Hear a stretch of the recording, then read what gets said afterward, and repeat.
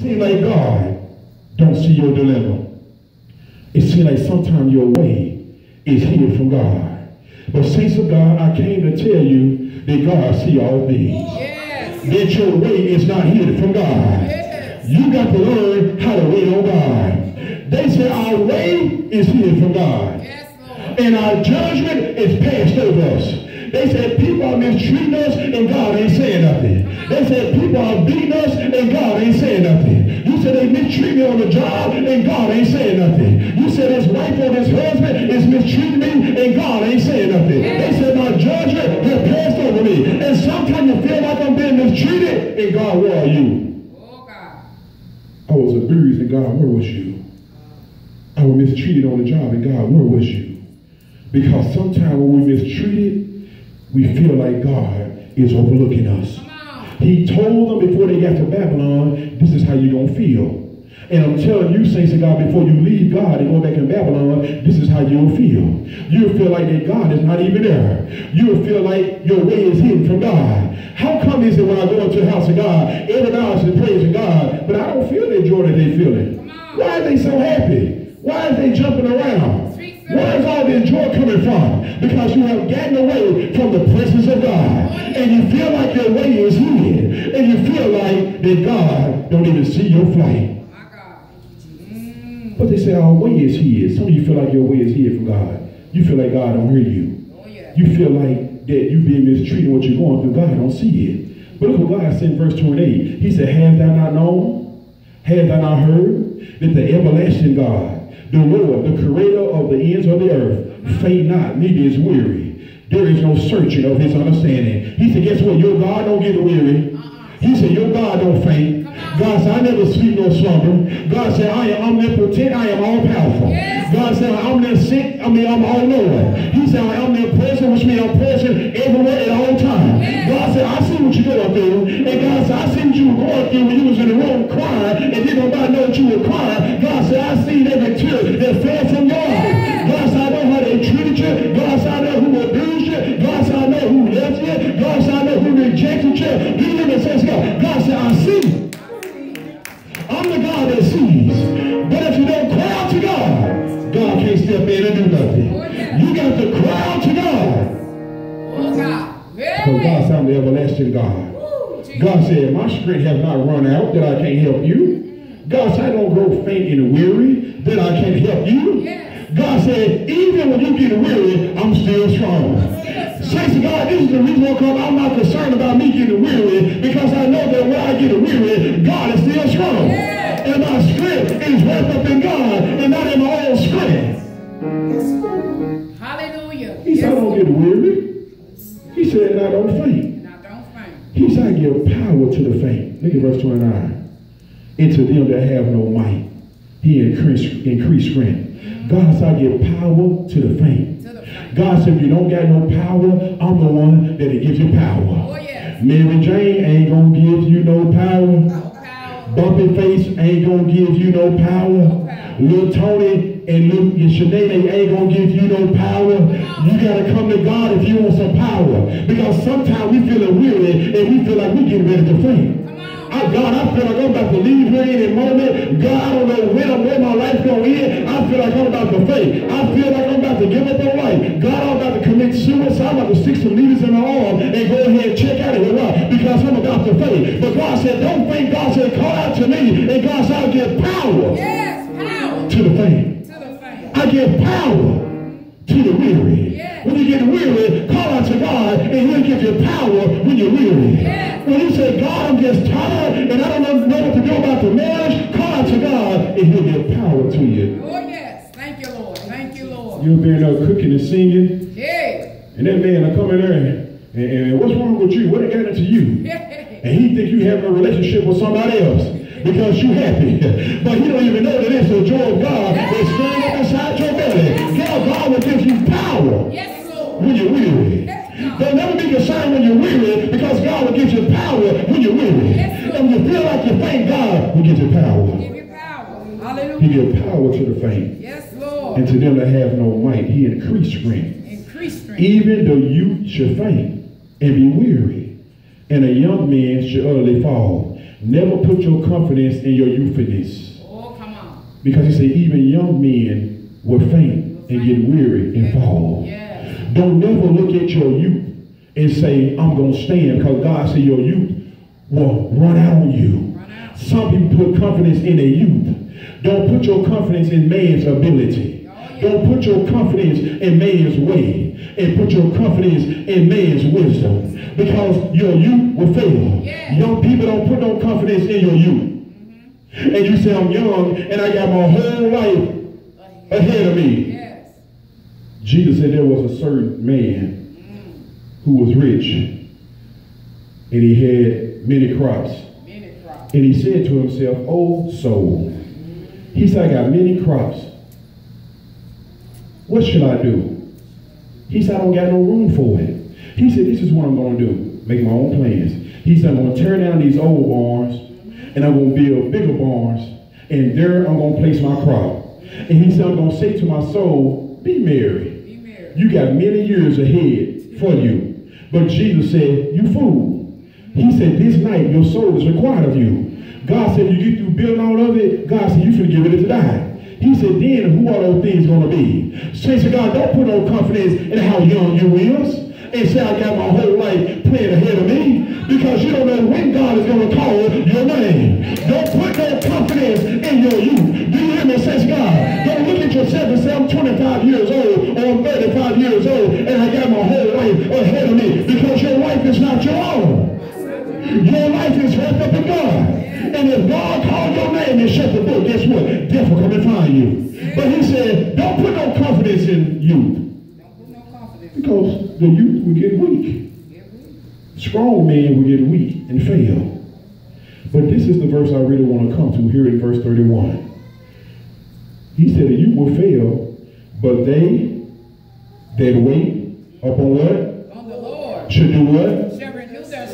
They should what? They shall mount up with wings like eagles. And they should what? They shall run and not be weary. And they should what? They shall walk and not He said, but they, I want to be the they. Mm-hmm. See, some of us are not today. Come on now. But he said, they that wait on God. Some people don't wait on God. Therefore, God can renew their strength. You can't expect God to renew your strength and you don't wait on him. I'm giving you the ingredients, saints of God, to tell you how to renew your strength. He said, but they that wait on the Lord, I want to be part of the they. Uh-huh. I don't want to be the them that don't wait on God. But I want to be the they that wait on God. Yes. He said, they that wait upon the Lord.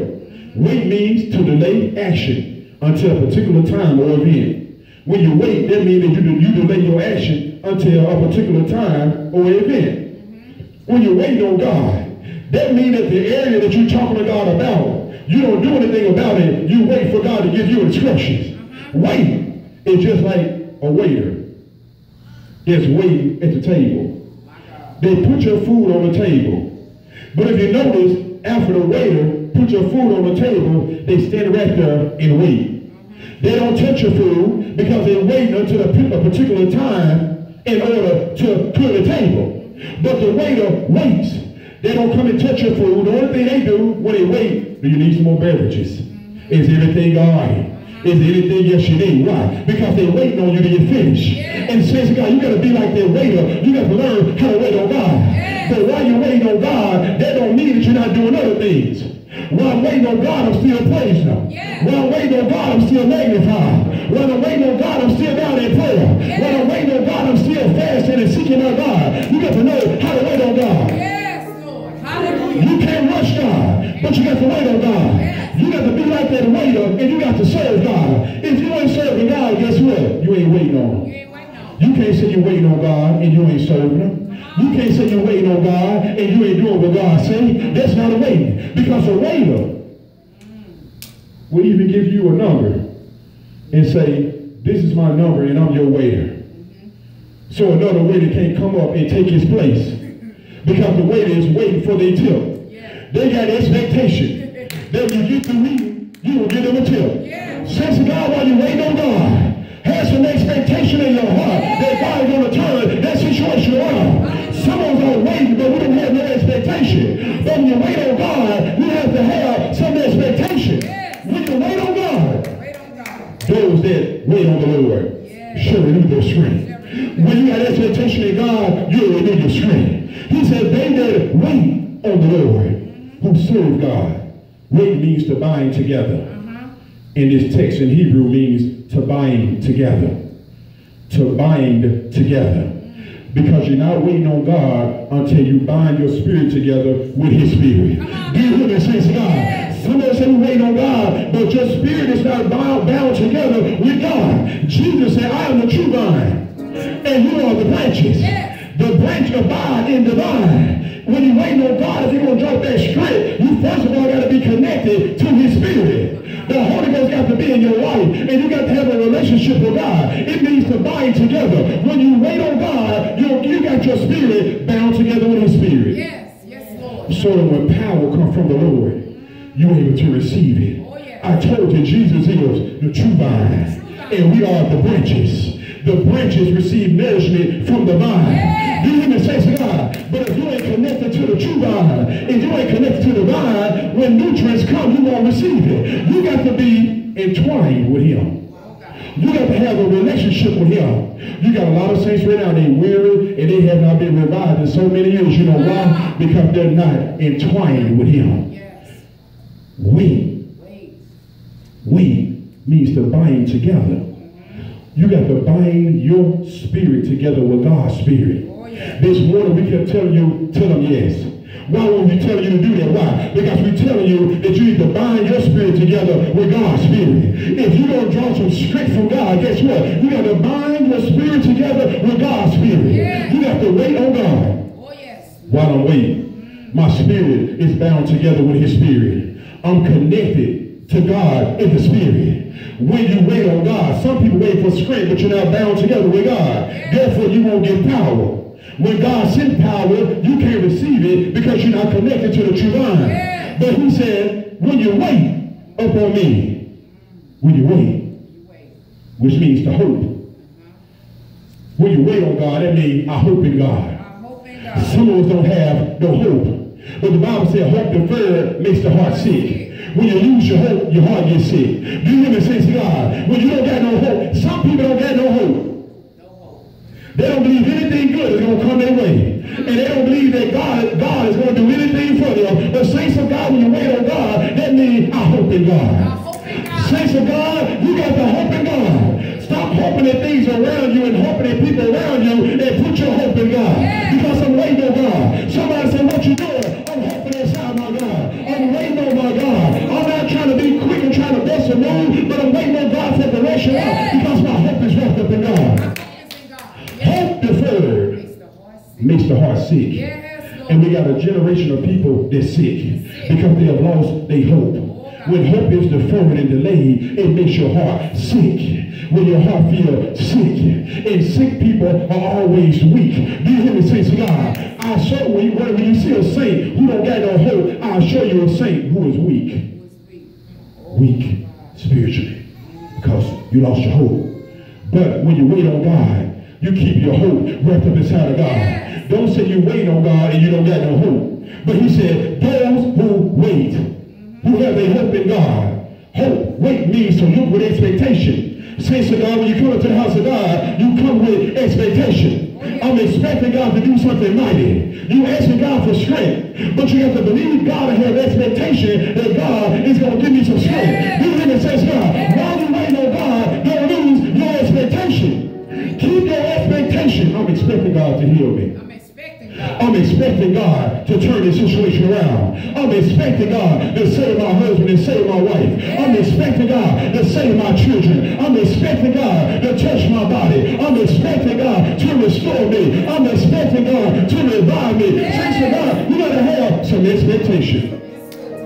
Anticipation is when you're excited about something. See, saints of God, you come into the house of God, why come they jumping up and down? And how come they happy? And when they asking God for hadn't even happened yet. Saints of God, we got some anticipation. We got some expectation that God is going to do it. Yes, Lord, yes, Lord. God will turn that situation around. God will lift the burden. God will to destroy it. Know why? Because I got some expectation.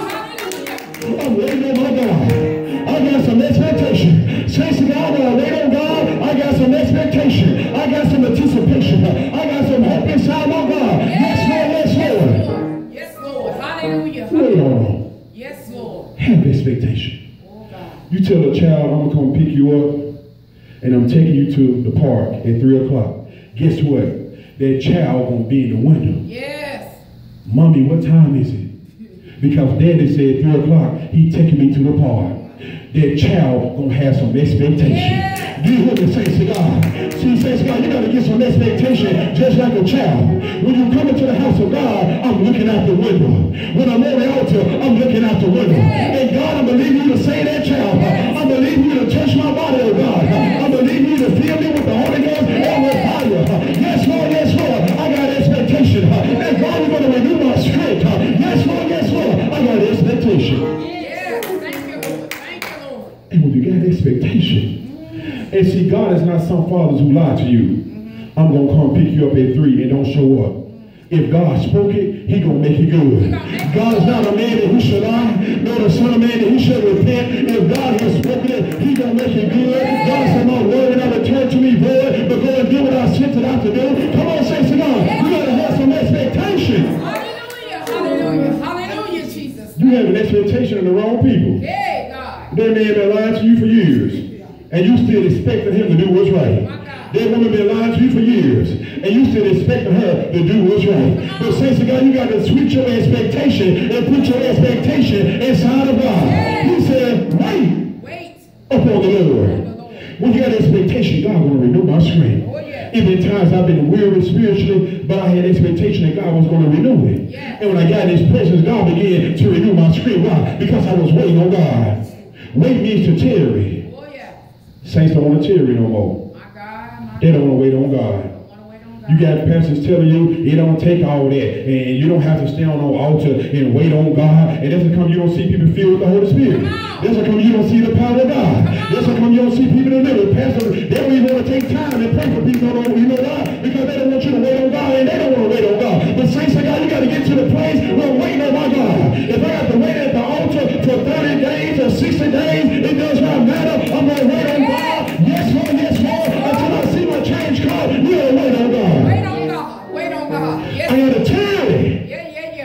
yeah. Wait on God. Wait on my God. I'm waiting on my God. I'm waiting on him to give me strength. Oh, yes, Lord. Through prayer. Yes, Lord. When you're waiting on oh God, mm. you got to be in prayer. Some of us are waiting on oh God, but we don't have no prayer life. Come on now. But you ain't waiting on oh God if you don't got no prayer life. When you're waiting on God, that means that you're fasting. Come on, say to God, I want to give you the ingredients. This generation don't know what to do, but I'm giving you the ingredients, say to God. When you're waiting on God, stay down in prayer. Yes. If down in prayer, will God send down strength. Oh, yes. If you want strength, get in prayer. I think the old saint said, much prayer, much power. Oh, no prayer, no power. Saints of God, if you want some power from God, learn how to pray. Yes. It's down in prayer. Me and my wife would have never made it this far if we didn't have a prayer life. Yes. There must be a proper exchange made between you and God. Prayer is communication with God. When you have communication with God, God is able to sit down strength. But you're going to receive strength while you're in prayer. Yeah. You're going to receive strength while you're fasting. My God. Now I know we don't hear nothing about fasting because we don't want to push their plate back. But I learned while serving God that when I began to fast, God began to give me strength. You're going to get strength when you begin to study God's word. Come on, say to God, I'm giving you the ingredients. You say, how do I renew my strength? And you say, how do I get back in that place with God? I'm telling you to pray, to fast, to study God's word. Because when you study God's word, God will begin to renew your strength. You say, I'm the head and not the tail. I'm above and not beneath. I'm blessed and I'm going in. I'm blessed and I'm coming out. The fruit of my body is blessed. I can do all things in Christ Jesus with strengthens me. I'm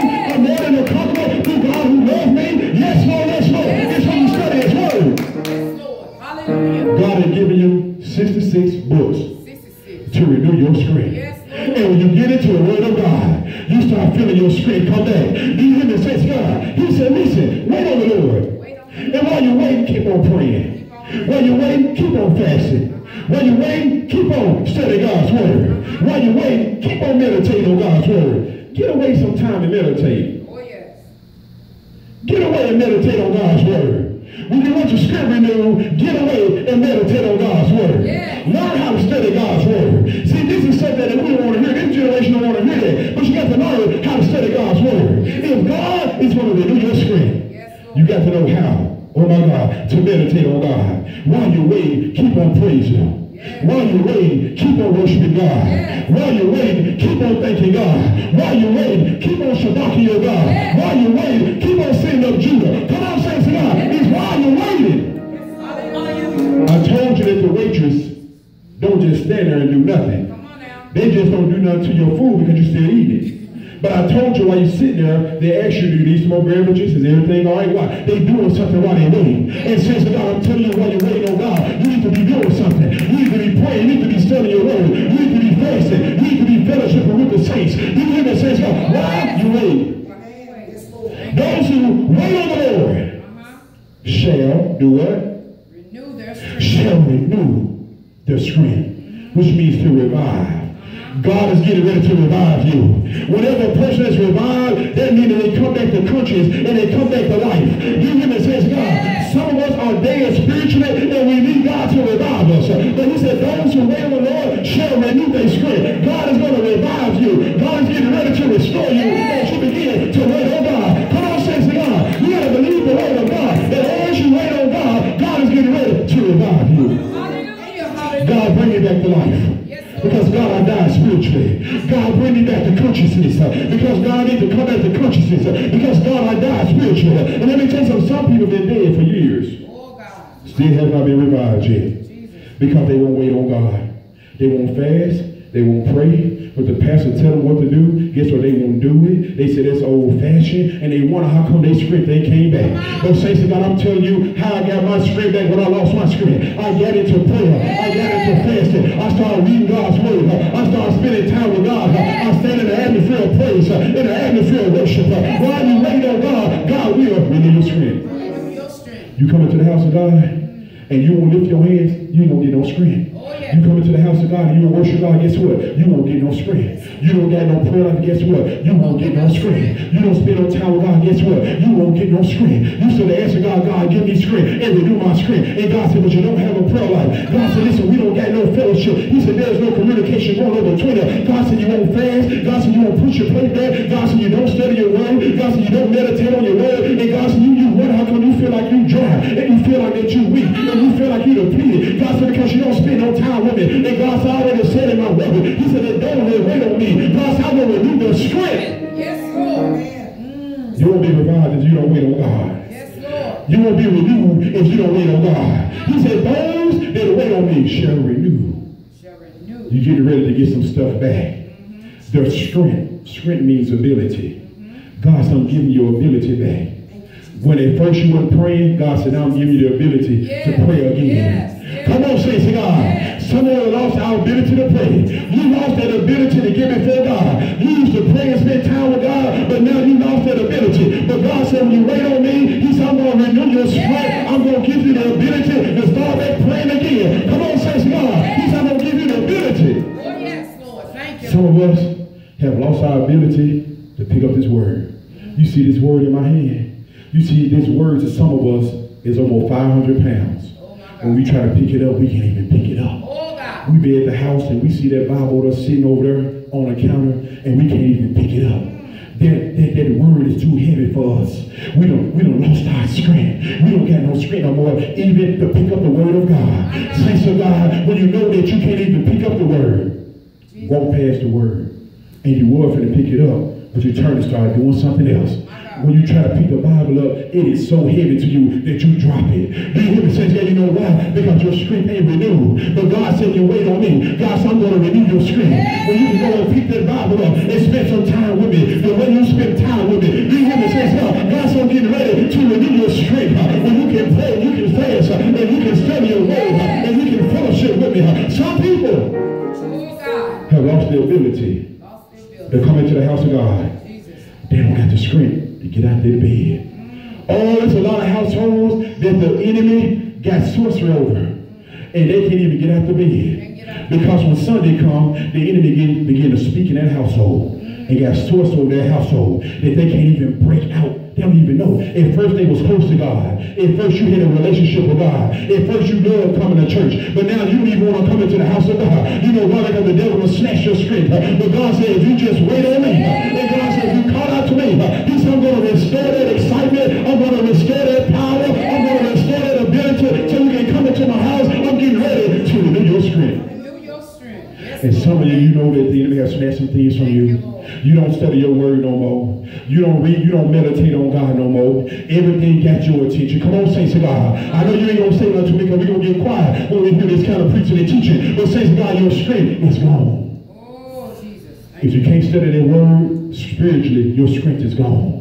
If you can't get in the posture of prayer with God, guess what? Spiritually, your strength is gone. If you can't fellowship with God and fellowship with the saint, you can't even come into the house of God no but once a month, and you barely do it again. And when you do get into the house of God, you don't lift your hands, you don't praise God, you don't magnify God, you know why? Because your strength is gone. Somebody Yes. snatch your strength.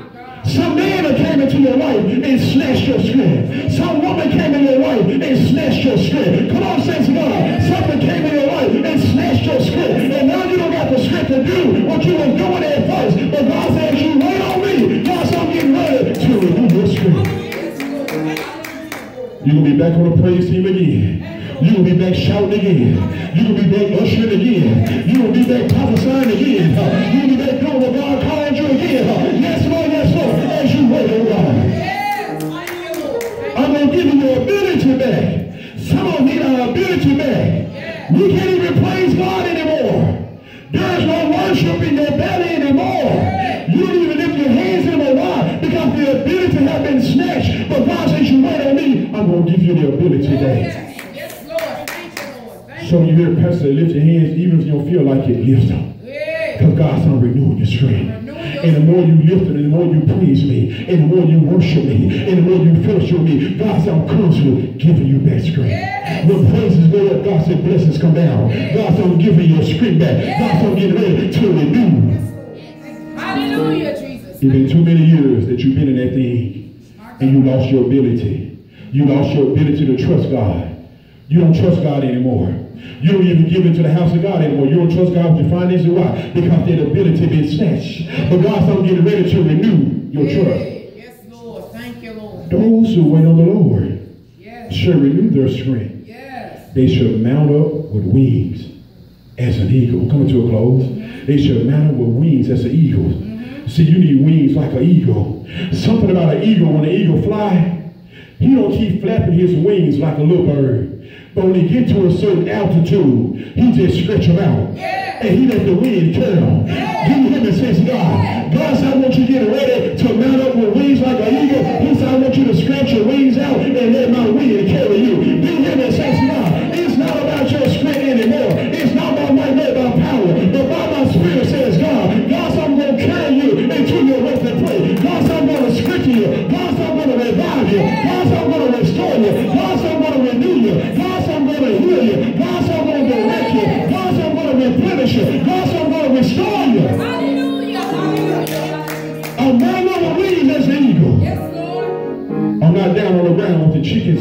anymore. Because a buzzard in a crow can't flow, can't fly at the altitude of an eagle. And when they get up there, the wind carry them. Saints of God, you need the ruah of God, which is the Holy Spirit. You need the wind of God to carry you. Stop trying to carry yourself and be like that eagle and let the wind carry you to your destination. You hear me, saints of God? He said, you're now the wings Yes, Lord. As an eagle. Yes, Lord. An eagle is, his sight is binocular and monocular, which means that an eagle, binocular, means you see straight forward. But an eagle can see two miles down the road. That's how he catches prey. But an eagle not only is binocular, he is monocular, which means that he got eye to the side. Where he not only see forward, but he can see to the side. Yeah. Some of you lost your vision. Samson lost his vision. But when he called out God, God restored his vision. Some of you, you was able to see down the road at first, but the enemy came in and snatched your spiritual perception. But God said, as you wait on me, God said, I'm getting ready to restore your vision. That you're able to see down the road, which means you're able to see your future. Ah, yeah, yeah, yeah. He said, not only is you going to be able to see your future, but God said, I'm going to cause you to have my binocular vision. I'm going to cause you to be able to see in your present. Because when the eagle look down the road, he see the prey down the road. But when he look to the side, he see anything that moves to the side, which is in his present. God said, I'm going to let you to, so your vision can be restored, so you can see what's in your future, and so you can see what's in your present. Now, I don't to know what's going on down the road, but I need to know what's going on right now. Hear? Says God,